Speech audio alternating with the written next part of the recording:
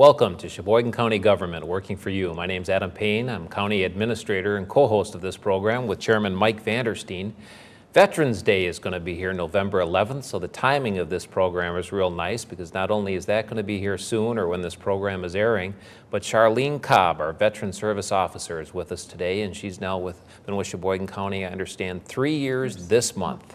This month, October. We're uh, taping this mid-October right now. So, Charlene, it's a pleasure to have you with us. Well, thank you. Three Pleasure years. to be here. Did it go by quickly, or Extremely has it quickly. been excruciatingly slow? oh no, not in my office.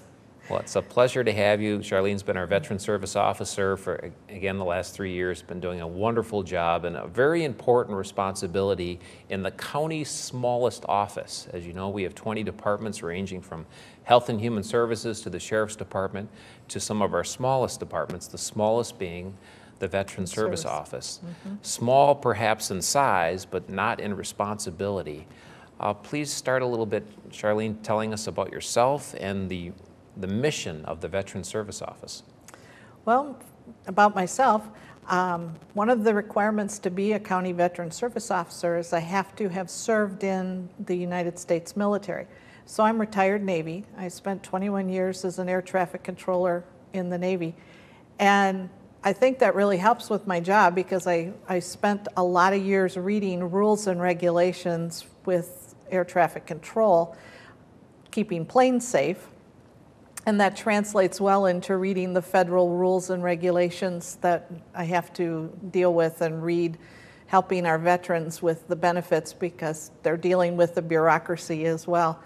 Um, the office is the smallest one in Sheboygan County, but I agree with you, Adam, that I think it's one of the most important in our county. And it brings in a lot of money to our county for people to be spending in the stores and businesses here in the county. Um, this last year, I believe we brought in over $10 million in benefits, federal benefits. Federal benefits that you help pass on to local veterans. Correct. So our, I helped our local veterans to receive benefits from our federal government, and in turn, the federal government compensated them and provided monetary benefits to them. Like I said, over, over $10 million of revenue coming into the county to be spent on homes, cars, food, clothes, electronics, whatever. And benefits they've obviously earned uh, thanks to their sac- sacrifice. How many veterans approximately do we have in Sheboygan County, and, and what types of programs do you help them with? Well, according to the federal VA rule um, stats, they say we have about 9,000 veterans. I think their figures are on the low side. I, I would say we're up into double digits for veterans. And my office, not only do we help the active duty and the uh, retired or no longer serving veterans, but we also help their family members. So it's very important for our listeners to realize that even if they aren't personally a veteran, if their parents were veterans from World War II or Korea, Vietnam, there may be benefits available for their aging parents from the Veterans Administration, as well as with our current veterans that we have, a lot of uh, education benefits can be transferred to their children under certain circumstances or to their spouse.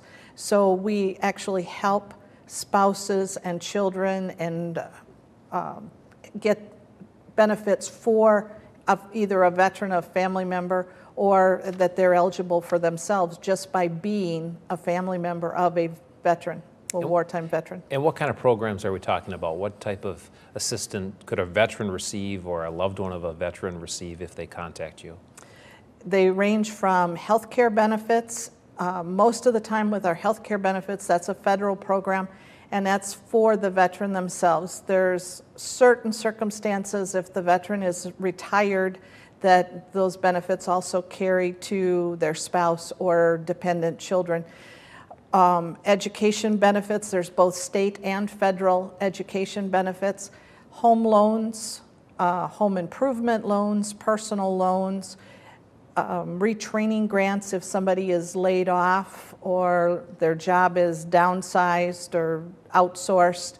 They may be eligible to utilize state benefits and get some re-education to be able to get a new job. Um, we provide assistance for needy veterans, um, dental grants, help them get hearing aids if, you know, for our older ones that have a loss of hearing. So there's a wide variety. Um, our disabled veterans in the county may be eligible for a park pass that would allow them to go to one of our state parks and not have to pay the, the nominal fee for getting into the park. So earlier we were, you know, not really joking, seriously, your department is the smallest. The airport department, I think, is a similar number of staff, Staff, but you have that the pride of being the smallest department in Sheboygan County. You just mentioned we have somewhere between nine and 10,000 veterans. Not only are you there to support them, but their family members. So you must have an immense staff. Just how many staff do you have in Sheboygan County? I have myself and my secretary in my office. Um, so we, we are extremely busy in there, and we take a lot of phone calls and um, people that just walk in and mail that we get. We get stacks of mail that we go through of paperwork that's come in or requests for information. Which is again remarkable. And obviously, you have to be a very knowledgeable position person to be in that position. Your assistant, I know, has become very knowledgeable over time. Of course, we all have learning curves. And then from time to time, don't you also bring in a limited term employee or a project specialist? Um, I'm very fortunate with working in the Veterans Office that it's a benefit that our veterans have while they're going to school and utilizing federal education benefits that they can apply for what they call work study. It's a win-win for both the veteran and for the office that they are able to work in. Uh, the federal government pays their salary they come and work in my office for several hours during the week. And the only thing that I have to do is be aware that their primary mission is to be utilizing their education benefits and going to school. So the hours that they work in my office have to be around the hours that they have to go to school. And by being a part of the work study program, it's not the same as a regular employer where the regular employer could expect them to be there every single day from 8 to noon or from 1 to 4. My office, we have to be a, a little on the flexible side with, you know, there's a test coming up or there's this project due or that project due, that they're required to spend time in a lab or whatever their case might be, that I work their work hours with me around their school hours, but it's beneficial in that I do have somebody in the office to help answer phones, Right. to help hand out paperwork, to do some of the filing, some of the things that get kind of pushed to the back burner on a normal basis. Right. Now, our viewers might be wondering, well, a staff of two for all these veterans, and right now we're seeing more and more coming back, as we were talking about off the air from Iraq and Afghanistan, and and you know these are people in need who need that service. So, number one, they need to be patient. And certainly, if you're a veteran and you've served in the Army, Navy, Air Force, or Marines, you've probably gotten used to standing in line from time to time. So hopefully, folks are going to be Hurry up patient and with wait. you. That's Hurry up the- and wait. That's the military motto. My dad's a veteran, and I know that was one of his pet peeves was all the times you hurry up and wait. But uh, in addition to the Sheboygan County's Veteran Service Office, then we have the VA. There might be some folks out there wondering, well, what's the difference? Are they, are they redundant to one another? What's the difference between your office and the VA office, and where do they go? Where do they start? And there's three different separate entities, and they are separate entities. They don't have, they work together, but they don't have anything to do with one another. And that's the Federal Veterans Administration, which is located in Milwaukee. There's, an, and then you get with the federal VA, there's two separate parts of the federal VA. There's the medical center world, and then there's the regional office. And they sit next door to one another, and they have the same first name, but they don't talk to one another most of the time. But that's the federal uh, entity. Then we have the Wisconsin Department of Veterans Affairs. They have their own programs that they manage and control and run. They're located in Madison, and they don't have anything to do with the federal programs. Sometimes a state program will run in conjunction or kind of supplement a federal program, but they're state programs. Each state is allowed to choose and do their own. So you start looking on websites between us and Wyoming, Nebraska, and totally different for the benefits that are available through the state. The federal would be the same regardless of what state you lived in, but the state benefits are different. And then my office, it's mandated by state law, but I'm a county employee. So, our listeners, you all pay my salary, thank you very much. And I am very proud to be the Sheboygan County Veteran Service Officer, and I thank all of our residents here in Sheboygan County. I think we do a phenomenal job of recognizing and supporting and taking care of the veterans that we have here in the county with a lot of different programs that we have available here. Yeah, and you do a phenomenal job. I, I agree with you 100%. The importance of taking care of our veterans, and I, I think a lot of people think of veterans as, well, you know, those older men and women from World War II or Korea or now Vietnam. Uh, my dad's in his 70s, he's a Vietnam veteran, and you know, we have so many new veterans now coming from Iraq, from Afghanistan, and how is that impacting your office? How is that impacting the community? It's a huge impact. Um, one of the the things that has come out of this current conflict, this war is extremely different from the other wars that we have fought with this country. The main thing is is that because of the technology that we have available to us and the skill of our medical personnel, some of our soldiers that would never have made it off the battlefield in a previous conflict is being triaged and given and out of the battlefield and to some of the best medical facilities in the entire world. And their lives are being saved, which is great because they're coming home to their families and to the people that love them. But on the other side of that, they're coming home with serious illnesses and injuries that require a, a lot of care. And the VA is working really hard to provide assistance to family members because we're finding that a lot of these veterans they don't end up in nursing homes they come home to families parents and spouses and siblings that are caring for their loved one and becoming a full-time job to care for someone and we've seen the TV shows of the extreme makeovers where Ty Pennington and his group all come in and redo somebody's house to make it handicapped accessible so that, that the veteran that has a serious injury from war has a place to live and be able to stay at home with their families. But I think it's a responsibility that we have to realize as citizens that we need to take care of these veterans and their families and provide for them, provide the care that they need.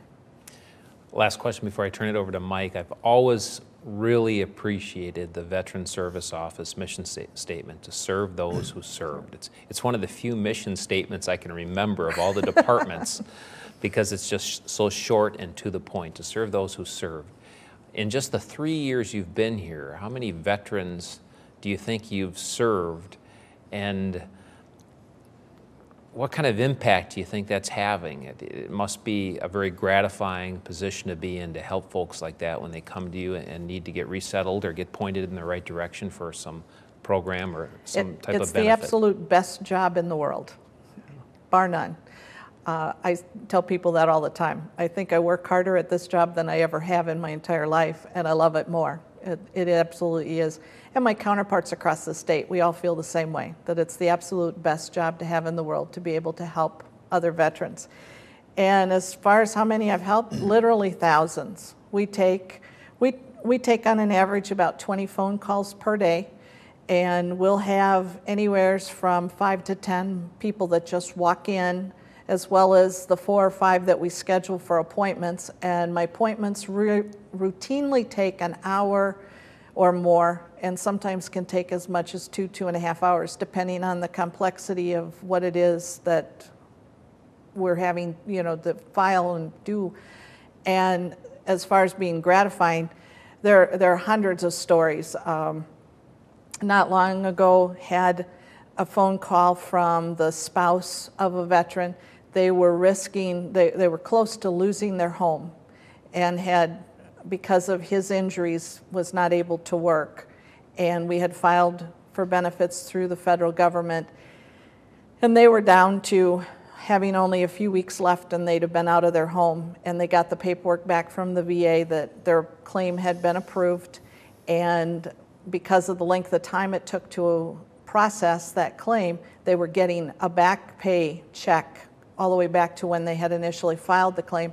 So the money they received was enough to make their loan current with the bank and save their house, as well as pay back family members that had been helping them out with utility bills and things like that. And she was literally on, in tears on the phone, calling, just saying, You just don't know what this means to receive this check in the mail and know that we're going to get to keep our house. Wow. And we hear, you know, there's stories like that Right. that we hear all the time. Very good. Thank you, Charlene. Charlene, every year we celebrate federal holidays like Memorial Day.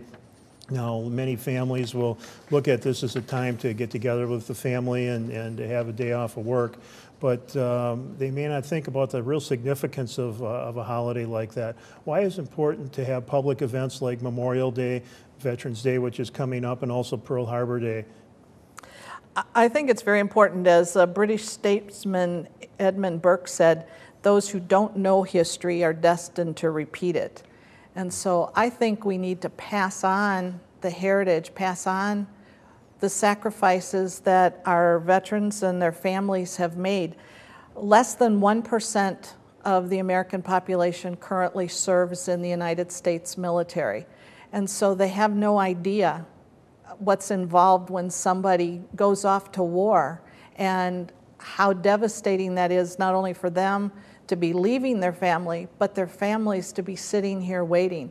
And so, by us doing programs on Veterans Day and Memorial Day, it's an opportunity to spotlight the sacrifices that our, serving, our servicemen and women make in support of our country. Now, our World War II population of veterans is declining uh, rather rapidly. How can people ensure that the sacrifices of these and other veterans are, are not forgotten and remembered at, at Veterans Day time? And I would say get involved, not only with the events that were, you know, that come along, Memorial Day, the parades, Veterans Day, the programs that are around the communities, um, but in the communities, just to get involved uh, in other projects, you know, cleaning up a park, volunteering at schools, anything that's you know community oriented that makes a better place, a, a neighborhood watch program, things like that. After all, those of us that have served in the military, that's what we want. Is we want communities that are wonderful places to live, to be able to raise our families. So I would I would say, you know, if you want to honor your servicemen and women from this country, get involved in your communities. Make a difference where you're actually living. Now, you told us before we went on the air a little bit about the quirk in the calendar this year. Why don't you tell the rest of the public about that? Oh, okay. The Veterans Day is always celebrated on November 11th, and the armistice, according to history, was signed at 11/11 on November 11th. And this year, because it's 2011, we have 11, 11, 11 at 11/11. So most of the communities will be doing programs that will start right around 11 o'clock so that they're actually in the middle of their program at 11:11 on the 11th of November 2011. That's, that's great. Uh, it's real fitting to, to see that coming up and uh, drawing a little extra attention to Veterans Day coming up this year. Uh, are there, many, I understand there's different types of memberships. Could you please explain a little bit about the requirements to join a veterans organization? and there, there are a variety of requirements. And a lot of the veterans organizations have a specific purpose. So you'll have the AMVETS, which is short for American Veterans. The eligibility for that organization, all you have to do is have served in the military, any place, anywhere, anytime, and you're eligible for that organization. For the American Legion, you have to have served during a wartime period, not necessarily in a war zone, but during specific periods of history. So during peacetime, members weren't eligible to join the American Legion. And then for ones like the Veterans of Foreign Wars, you actually have to have a qualifying ribbon indicating that you were in a particular war zone as well as during a war period to be eligible for it. And then we have ones like the Marine Corps League and the Fleet Reserve Association that are unique to a specific service that makes you eligible to join. So there's a variety of requirements. A good way to check it out is be to go online to the various organizations to see what their eligibility requirements are. Talk to your friends and neighbors that are also members of these organizations, or they can come and ask me in my office. We're kind of information central for Sheboygan County. Well, thanks for explaining the ins and outs of these different organizations and how they can find out about them and, and get connected with, uh, with some of their, their fellow veterans and participate in, in the activities. With that, I'll turn it back over to Adam. So as you plan for the remainder of this year and, and looking down the road, what are some of the goals or aspirations you have for the Veteran Service Office? To get more people. um, actually, just to be able to help all of the veterans that come through our doors to provide, you know, a good service to them, point them in the right direction. We don't have a lot of programs that we actually do here in Sheboygan County. We're just sort of information central to guide them into the appropriate areas of whether it's a federal program or a state program that they're eligible for. And to really do some good, um, this is a great program here to get the word out, to just have people coming in to see me and check to see what eligibility they may have for programs. And that includes family members as well as the actual veterans themselves. I had someone just the other day um, is a widow of a veteran, and in looking had come in looking for information about something else, and as I was looking at the file, realized that her husband was 100% disabled when he passed away, like 10 years ago. So I asked, I said, Do you own your own home? And she said, Yes. I said, Have you applied for your property tax credit? And she went, What's that? Well, that answer obviously indicates that no, she hasn't. Uh, individuals that are 100% disabled with uh, the federal government, with the Federal Veterans Administration, if they own their own home, Wisconsin, that's a benefit of Wisconsin, is they can get a refund of their property taxes on their primary residence. So the same thing. Now it's bringing state dollars back into the county because that they pay their property tax and then they apply for the refund and it comes from the state government back to our veteran to be able to spend for other stuff. Is it a hundred percent Yes. of their property tax that they get refunded? Correct. Wow, that's very significant. Yes, it is. Very significant. I'll be darned. on their primary resident. Right. The, the veteran has to be 100% disabled, but for individuals that have passed away, if they were 100% disabled at the time of their death, then their spouse, as long as the spouse has not remarried, is eligible to request the refund of their property tax. That's one of those benefits that carries over to a family member. You know, as you know, Jim Riesenberg was the Veteran Service Officer prior to you for a number of years. I can't recall anymore. I think he was like over- 21. Yeah, I thought I was going to say over 20 years, and uh, I know that the demands on his time were significant as well. You've brought more tech, technological savvy to the office and have tried to streamline some things there, which we all need to be uh, emphasizing more. But as I hear you, you know, give that little snapshot of veterans coming in and having to fill out those applications, and it can take an hour, an hour and a half to really, you know, dive into what their needs are and correctly fill out the forms. Uh, you know, that, that just takes a lot of people time. It's not something you're going to just refer them to a website and hope, hope they get through it all right. You made the comment earlier, you know, when I asked what goals, and, and you said more staff, more help. And though in, in county government we're in this mode right now of streamlining and reducing expenses and trying to take fiscal pressures off property taxpayers as a whole. At the same time, there are real needs in areas that ultimately you do have to make adjustments. Law enforcement's a big one. Our Sheriff's Department certainly hasn't gotten any smaller over time. And the Veteran Service Office has really had two individuals for years now. I mean, I think 25 years or so. Uh, at some point, particularly with the current conflicts, and if they continue or something else escalates, we may have to add staff. And the reason I, I point this out is, is, and make to the time I am here is because sometimes you just you have to invest in areas to make sure that the help is there to get the job done. Now, with all that said, if I'm a veteran or a family member and I call your office, and I know the demands are high on your, on your staff time, but if I call the office, what's the average wait to make an appointment? Oh, the average wait to make an appointment is probably about two or three weeks. Okay. And again, if you're going to make an appointment with a doctor's office or for a dentist appointment, it can be two or three months. So some of our viewers might be saying, well, that doesn't sound too bad. and I don't think there's been a huge upcry out there. But if it's a widow or a spouse of a disabled veteran who is about to lose their home, they may not be able to wait two or three, weeks. Do you have some priority pecking order that you can put in place in, for, in emergency situations? And, and we do. I mean, I will, I will work really hard, even if it means working through a lunch period or having somebody come in right at the end of the day where I don't get out of my office then until 5:30, 6 o'clock because I've taken them, you know, squeezed them in Right. because of a need that they have. Um, the, the thing is, is most of the time we're having to submit that paperwork to the federal VA, and then we still end up waiting. Just the turnaround time from the The- federal level.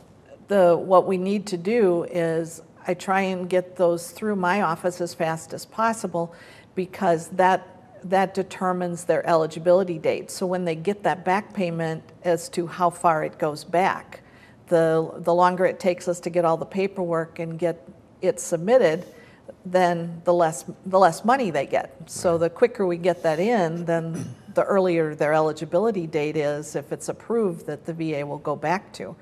Um, But we do, we do make a a concerted effort that if it's something that we know is an emergency, and the VA will also, if, they're very good with homeless veterans, uh, working on getting them into some sort of a treatment program if that's needed and things, and, and just working extra hours, extra time to make sure that happens to take care of our veterans. Well, Charlene, I just want to say thank you because you've done an excellent job in your short three-year tenure.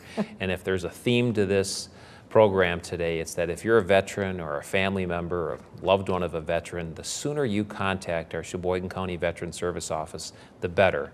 Because Charlene and her staff, or one employee, can help you, guide you to certain programs and services that may improve the quality of your life, and that's what the department's all about, to serve those who serve. So Charlene, thank you for being with us today. On behalf of the Sheboygan County Board, Chairman Mike Vandersteen, we appreciate you joining us once again this month. Next month, we're going to have Tom Egebrecht here from the Health and Human Health and Human Services Department, another very important department in Sheboygan County. Until then, thanks for joining us.